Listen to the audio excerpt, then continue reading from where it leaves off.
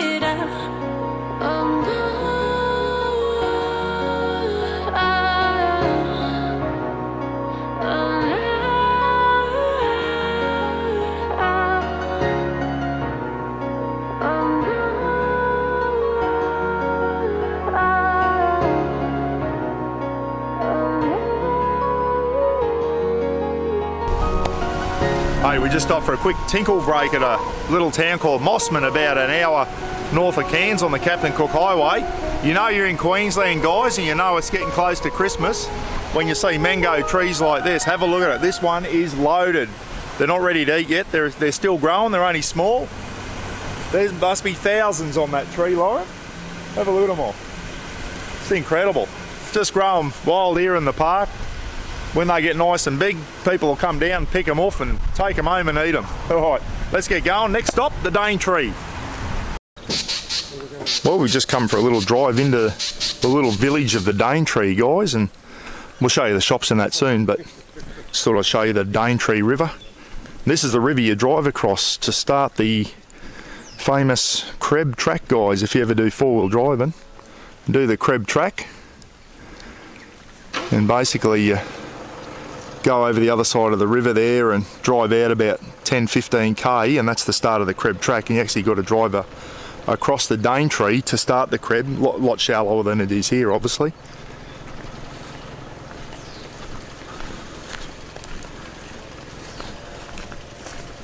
Beautiful day.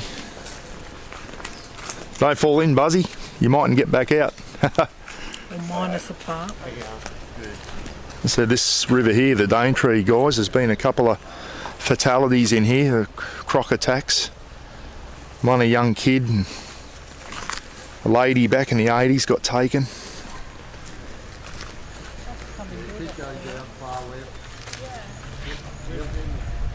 And as you can see here, there's uh, a lot of little tours. You can go in these nice big boats and they go up the Daintree and you can do crocodile uh, tours.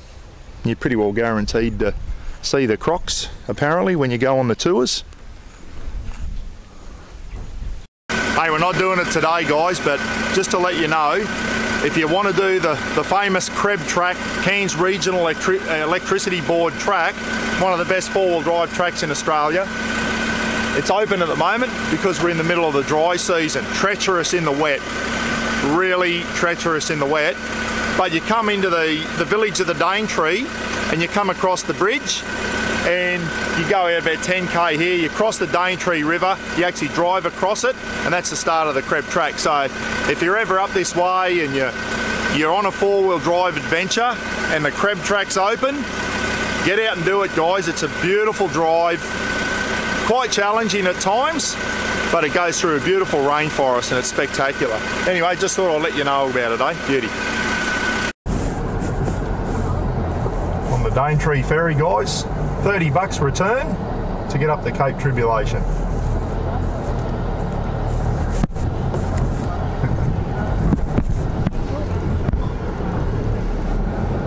Caution, ferry.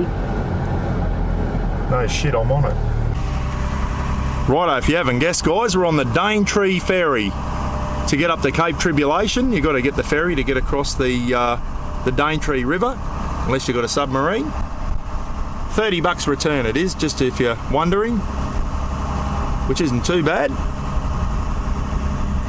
And that river there, as I said before, you do not swim in it. You don't swim in any rivers up here in North Queensland, actually.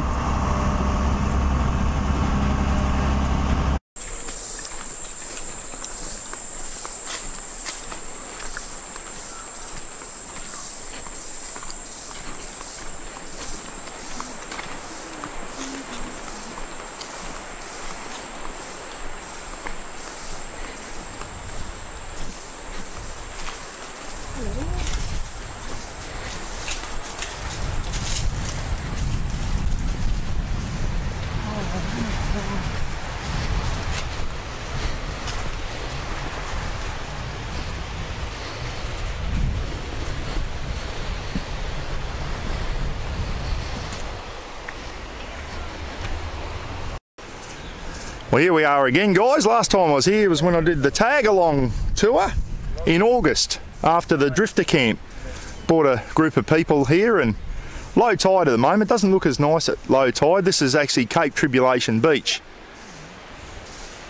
Water looks beautiful today, nice and green, blue, whatever it is. That's actually Cape Tribulation there, and you'll probably see some drone footage at the start of the start of the clip, guys. I'll put the drone up and that's actually Cape Tribulation, Myall Beach on the other side. But we're gonna get back in the car now and we're gonna head down and check out Thornton Beach, which is another beautiful beach along here, Cape Tribulation. And as I said, bring your camp chairs and that if you're ever up around here. Plenty of shade up off the beach. Set your camp chairs and your esky and that up in those shady spots, guys. And you spend the whole day at some of these beaches. Absolutely beautiful come down here late in the afternoon, the kids can just run for miles. This is my favourite beach, Cape Trib guys, Thornton Beach. And I can never remember the name of that island there. You walk for miles along this one. How's that? Absolutely beautiful. Well, here we are again, Rex Lookout, north of Cairns.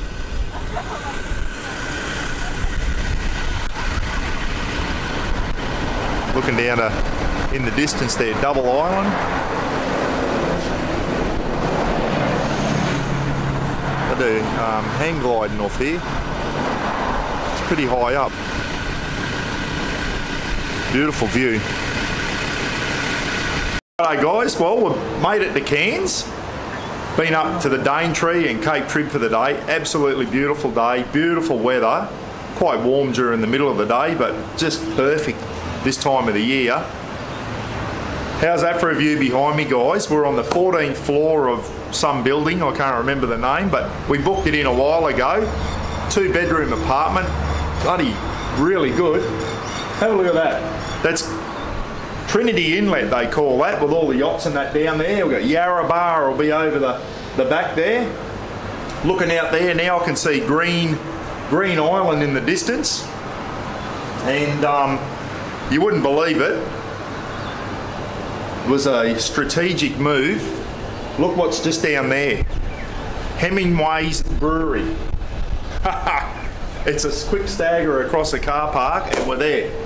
Mate of mine went there the other day, Hemingway's Brewery, and it's like one of those boutique that do all their own um, beers and all that type of stuff. You can do, do all the taste testing and that, and they put a good feed on down there too, I've been told. So we're going to go there for dinner tonight, sample a few beers. But I'll tell you what we might do, sneak to a bottle o, get a bottle of wine, and take in this view. How good's that? North Queensland at its best, guys. You beauty. Have a look at that. I tell you what, I'm not keen on this bloody. I'm a bit scared of heights, and I'll tell you what, I get a bit wobbly in the knees when I look over the edge there, 14 stories up. Righto, let's go and get a bottle of wine, Loza, and we'll bloody sit down and enjoy it on the balcony, eh? Rightio, here we are having a wine at the end of a great day. How'd you enjoy the day, Loz? Good?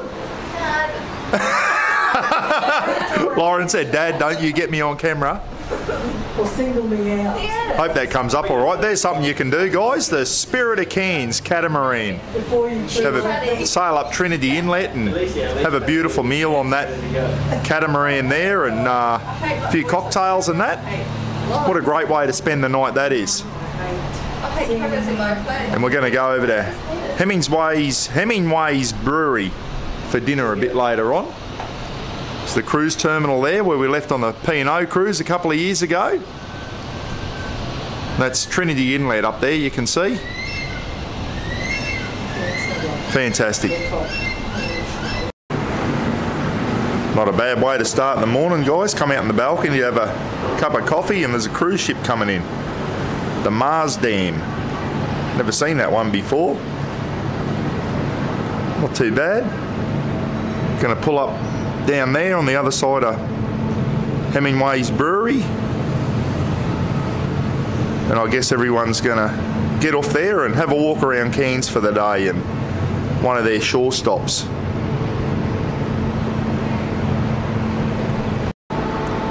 Just seen one of the flags there, the Aussie flag flying, but up there they looks like the Dutch flag, guys. Might be a Dutch ship. Holland America is the cruise line company, Holland America, and the Maasdam. Sounds like a Dutch name, doesn't it? And they're flying the Dutch flag. Put two and two together. I should have been a rocket scientist.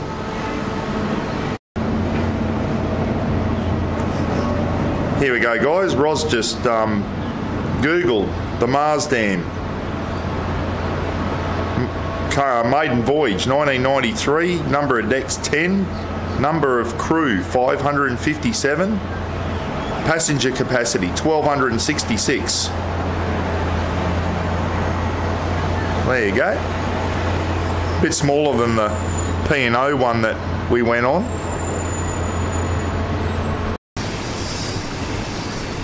Righto, here we go. Just waiting to kill a bit of time before the boat leaves to go out to the Barrier Reef today. This is the Cairns Esplanade, guys. A lot of cafes, coffee shops, restaurants, and that all along the the Esplanade. Boardwalk, so you can go for a jog or a walk all the way along the boardwalk. That building down there is that circle one's Cairns Cairns' highest bar. There's a bar up the top there. Still haven't been there yet. The old Cairns Eye or something they call it. The Ferris wheel looks good at night. Plenty of accommodation in Cairns, guys. No high rises. They're only you know, 12, 15 stories high, nothing, nothing like the Gold Coast, the big high rises down there, which I think is a good thing. You know, not having those massive high buildings everywhere. And the Cairns Lagoon, which is closed at the moment. They're doing a bit of a clean up and maintenance on it, but normally opens 10 o'clock in the morning for all the kids and that, and nice safe place for everyone to swim, especially in the stinger season. And no crocodiles in there, which is good. All right, time to go and round a coffee up, and we'll go over to the pier and we'll wait for our boat to leave. out to the Barrier Reef. Should be a fantastic day. Can't wait. Right, so here we are heading down to the. There's the big ship that come in this morning. Down at the the wharf. All the big boats that go over to Green Island, Fitzroy Island. Some beautiful boats. About 8:30 in the morning, guys. Most of your, your trips all head off. We're right down the end here. Should be good. Not bad boats, are they, guys? Imagine the juice they'd shoot. Sunlover Reef Cruises. I think ours is right down here on the right hand side, the last one. Sunlover Reef Cruise. That's ours.